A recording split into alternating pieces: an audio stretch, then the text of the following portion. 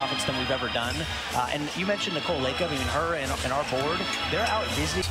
Uh, it, it's it's something really special to be a part of. That's what I love about it, Brandon. They're hands-on. It's not just let's throw money at the here, but it's let's get on the community. Let's work. Let, us you know, put feet on. Making huge donations and, and, partnering with us so we can have that much more of an impact. It's it's uh, it's pretty cool to platform and, and you know our guys' voices and amplify that with the the additional resources. It's it's a special kind of definition. We're creating that experience for our fans all over the globe.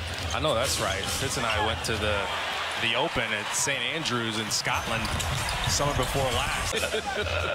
and Steph, uh, Steph probably enjoyed that one. No, look, Looney's become a fan favorite. I mean, you play.